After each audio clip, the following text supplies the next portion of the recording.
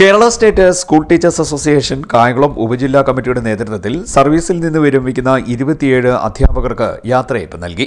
Kayamkulam B R സിയിൽ ഇതോടനുബന്ധിച്ച് നടന്ന സമ്മേളനം നഗരസഭാ ചെയർപേഴ്സൺ പി ശശികല ഉദ്ഘാടനം ചെയ്തു.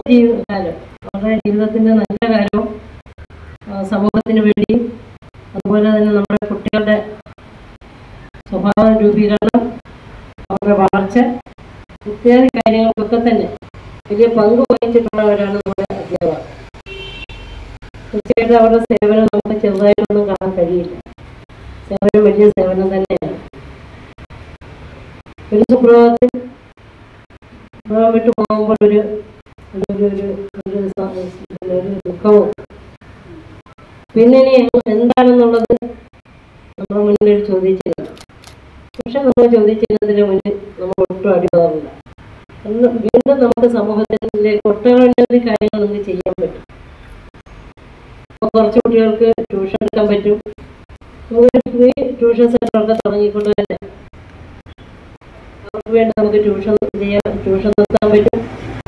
അവർക്ക് വേണ്ടിയുള്ള വേറെ ഒട്ടനവധി കാര്യങ്ങൾ നമുക്ക് ചെയ്യാൻ പറ്റും.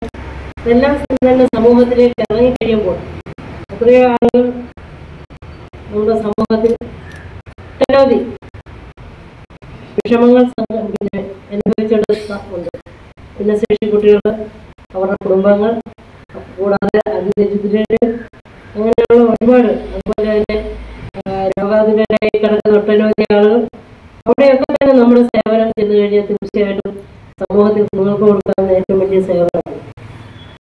കെ എസ് ടി എ സംസ്ഥാന കമ്മിറ്റി അംഗം എസ് സത്യജ്യോതി മുഖ്യപ്രഭാഷണം നടത്തി.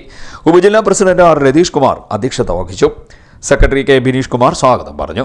ജില്ലാ വൈസ് പ്രസിഡന്റ് ഗോപികൃഷ്ണൻ ഉപജില്ലാ ഭാരവാഹികളായ B Anil Bose M Subhash Bijukumar N M Anwar Binu C R Joseph George എന്നിവർ സംസാരിച്ചു. ബി നിഷാദ് നന്ദി പറഞ്ഞു. C D Net News Kayamkulam.